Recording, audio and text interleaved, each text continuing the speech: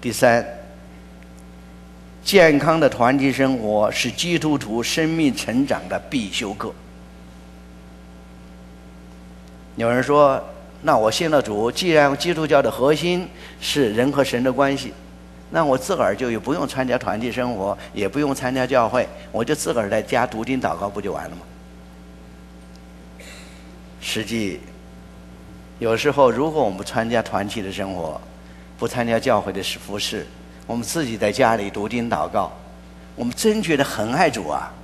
啊，主在十字架救了我们，把命都舍了，我还有什么不可以献给主的？把自己的生命献上，都在所不辞，啊，觉得下了决心。可是你要真正进入教会团体的生活，才会发现自己还有好多地方要需要被神对付。为什么？说实在的。教会团体的生活最大的难处，还是人与人的关系。所以我们参加了教会、参加团体的活动，免不了就要受批评，就要被误解、被人冤枉了。哦，就是心里愤愤不平啊！这就发现我们生命中还有好多地方需要被神对付的。有一间教会，对不起，对不起。有一间教会哈，他们刚选举了长子，第一届长子，选出来以后呢，就决定一个第一个一个执事就决定把他们家庭开放，第一次长子会就在他们家开，正是大冬天下的大雪，大伙儿都去了，没想到刚开的会没开到一会儿，就闹翻了，啊，这个接待的朋友，这个执事一站起一拍桌子，我宣布我离开会场，退出会议。哇！大家都傻在那儿了。他一宣布离开会场，我们怎么办了啊？结果一会儿，可是圣灵感动他回来。对不起，对不起，啊，我刚才不对啊，我应该继续参加会。大家说都已经很好了，你们说 Go out of you 啊！你让我们赶出去，我往哪儿去啊？下的大雪啊！好在你们把我赶出去。那为什么呀？因为这些长老执事啊，在社会上都是有地位的人啊。公司的 director 啊，这个，这个经理啊，大学教授啊，在社会上都是自己说了就算数的，一拍板就算数的。那今天的教会居然我说的话你不听，啊，这很受不了啊，啊，很受不了。这是什么？这就叫铁磨铁啊，圣经讲的，一定要磨出火花来，把你所有的棱角都给你磨掉。你没有这个团体生活，你不会体会到这样。所以后来他们就慢慢学会了，在开长子会的时候，听见有不同的声音。很虚心的听听别人的意见，听完了以后，如果还达不成协议，他们就祷告，祷告还不行，那我们再继续祷告，过几天再开会，所以慢慢的弟兄姊妹长子之间的关系慢慢就融洽了。为什么？每一个人都需要被对付。虽然我们想荣耀神，可是我们自己的那老我的东西还在里边。所以，作为一个基督徒，他要想真正的生命要成长，他一定要进入团体。那么，既然团契的生活这么重要，我们怎么能够保证我们的团契生活是健康的呢？保罗在腓立比书二章三到五节说：“他说，凡事不可结党，不可贪图虚浮的荣耀，只要存心谦卑，个人看别人比自己强，个人不要单顾自己的事，也要顾别人的事。你们当。”以基督的心为心，这就是过团体生活最根本重要的事情，就是要以基督的心为心。根据我这么多年服侍主啊，给弟兄姊妹交谈，我觉得过健康的、正常的团体生活有几点我们是需要注意的。第一，不要对团契或者教会抱理想主义的态度。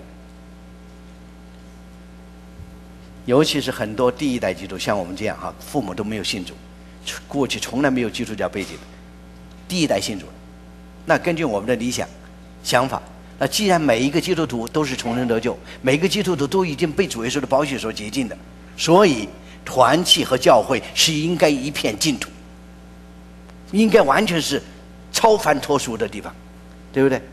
可是我们一进这教会时间一长，哎，发现怎么教会还是有问题啊？还是有人之间的一些很多矛盾，还是有世俗的印记，所以有时候就有人就感到非常的沮丧，非常的困惑，甚至有人就开始在怀疑我们的信仰是不是真的，是不是真正有圣灵的进驻，真正有主耶稣宝血的洁净啊！很多人很困惑。就这个事情，我曾经和一个台湾来的牧师谈过这个问题，我是怎么看的这个问题？台湾牧师听听，他笑笑，他说：“我是第四代基督徒，从小就是一直在教会生长大，从小看惯了教会的黑暗。我倒觉得现在教会一天比一天好了。哇，你会看见这两个问题看的角度完全不同啊！那次就给我很大的启发，角度完全不同，但是你会发现呢，都说明教会和团契。”并非是世外桃源。为什么？首先，我们基督徒都是蒙恩的罪人，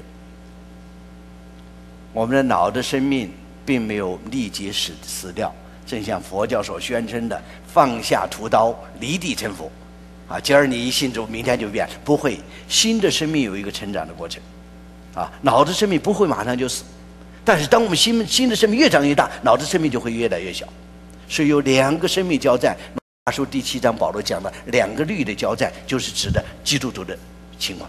所以过去我们只有一个生命，是父母给的属血肉的生命。可是今天信了主了，神在给我们一个属灵的生命，是这两个生命在里边就要打仗。那就要看我们是能够顺服圣灵的带领去走，还是顺服情欲的带领去走。如果能够顺服圣灵的带领去走，我们的生命就越长越快，老新的生命。如果我们一直顺着情绪去走，我们的老的生命就永永远死不掉，新生命长不起来。所以，既然有老的生命还在里边，当然它就会留下一些世俗的痕迹。所以，有些慕道朋友他觉得我为什么要信主？我看有的基督徒还不如我，可能的。有的基督徒可能道德水准还不如你，可是大家知道，他之所以成为基督徒，并不是因为他的道德水准比谁高，乃是他愿意心甘情愿自己是一个罪人，愿意接受神的救赎。你的道德水准可能比他高，但是你还是一个罪人。昨天我讲了，在神的眼里没有好人和坏人，都是罪人。所以有人说什么，要找罪人去教会。要找艺人去监狱，啊，监狱的人都说自个儿被诬陷了，被被误判了啊，他自己都是好人，啊，你要找罪人就到教会里去，公开我们承认我们是一个罪人，我们的生命需要成长，所以不要因为看见基督徒身上这一点那一点不完美，你就看不见神的作为，这是很可惜的事情，是要定睛在神的身上。如果大家有机会读教会史，两千年的基督教会史，你会发现。哇，两千年走的磕磕碰碰的，也有很多黑暗、很多失败的地方。可是为什么两千年人的这么多软弱、这么多失败，教会不仅没有垮，而且教会越来越壮大呢？是因为教会的元首是耶稣基督，是这位真神，他能够带领我们从黑暗、从失败中重新站起来。人的软弱和神的刚强。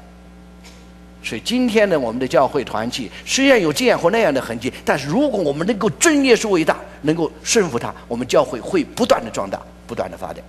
所以不要，这是第一点啊，我们基督徒的生命有待不断的完善。